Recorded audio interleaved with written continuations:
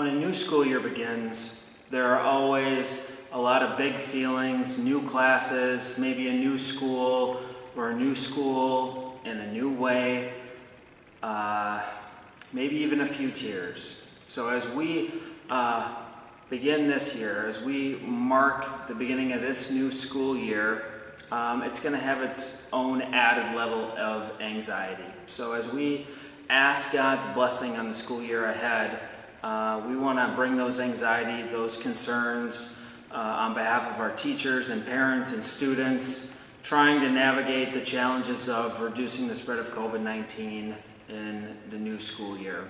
So, as you begin this school year, I want you to know that God is with you. No matter if you are a kindergartner or a freshman in college, God is with you. No matter what your classroom looks like this year, God is with you. And no matter if you're wearing a face mask or staring at a computer, God is with you. And no matter if you are uh, a parent trying to be a teacher or a teacher uh, trying to parent at the same time while teaching, God is with you. And so God is with uh, the overwhelmed professors and the anxious parents. God is with the kids who are trying to put on a brave face. Uh, God is with the grandparents who are trying to lend a hand. God is with all of us when everything feels like too much. God is with church families holding each other in prayer in our baptisms we haven't been to the font for a while, but in our baptisms, we are given the most special promise. And we claim that promise right now as this school year begins. We claim the promise that we belong to God no matter what. No matter what we go through, no matter what we face, no matter how we feel, we belong to God no matter what.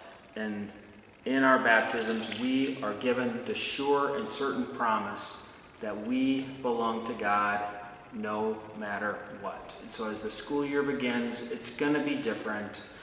And but even now, we can still learn and grow and discover all that God has in store for us, trusting that we belong to God. We can do this. You can do this. We can learn and take care of each other all at the same time because God is with us. So let us pray, friends. Loving God, as the school year begins, hold your children close. Be with every teacher, student, and caregiver.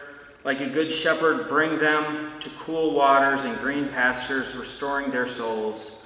Help each one to not be afraid in the dark valleys, confident that you are with them.